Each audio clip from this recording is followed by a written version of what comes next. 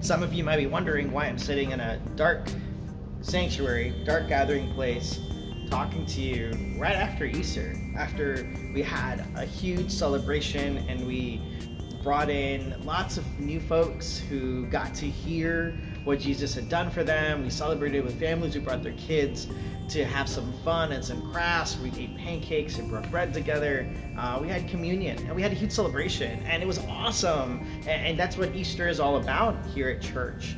Uh, but what do we do now? What happens when all that's done and the sanctuary is a bit dark? Yeah, I am sitting in a dark sanctuary. And a lot of times that's what life feels like. It feels like once you're done with going to church on Christmas or Easter, it feels like, what now? Right? We did the big thing, but what now? You know, after Jesus' death and resurrection, the disciples were left without Jesus, right? Jesus left. Yes, he said he left with us his friend, the Holy Spirit. But what now? And if you take a look at what the example of what the disciples did, they got together and they started doing a couple things. Um, one, they started to be a little skeptical. Some of them didn't really believe what happened. They were a little suspect of Jesus coming back and, and, and was it really him? Some of them even saw them with their own eyes, but were still skeptical of what happened. Man, that tells me that a little bit of doubt is okay.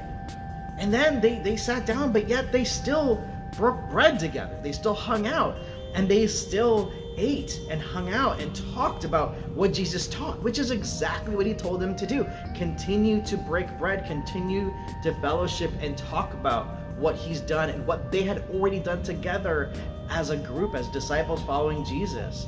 And then they did what Jesus told them to do. They started to share the stories with others and to hear their accounts of what happened and, and hear the stories of all the different people that experienced and encountered who Jesus was while he was on this earth. And they started to see that as they began to heal the sick, just like Jesus did, as they began to take care of the poor and to talk to people who had been kicked out of their, their societies, their little villages, they started to recognize that they started to create a group, a fellowship.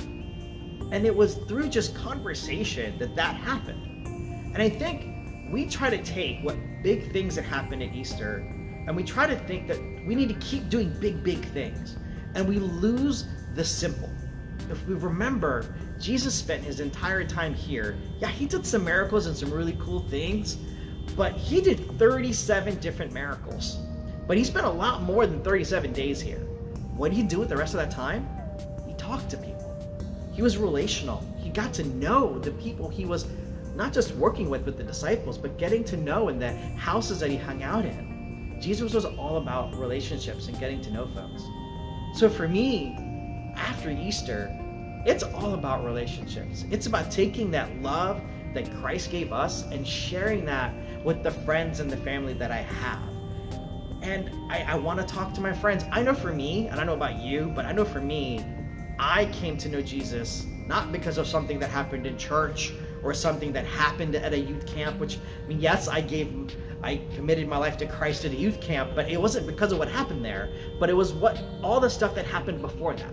I was invited to church by another team, by another friend um, who just invited me to come play football at the youth group after school. And I wanted to do that. And so I did. But it took me a couple years to really figure it out and come to know who Christ was in my life. And I, am sure some of you have a similar story. It, maybe some of you were raised in the faith, but maybe some of you came to know Jesus through an invitation by a friend or an invitation by a family member. So, my encouragement to you after Easter is go talk to people about why you came to church on Easter, why it was important to you and your family to do that. If nothing else, share it with your family. Talk about it at the dinner table. Don't let that conversation end just at Easter.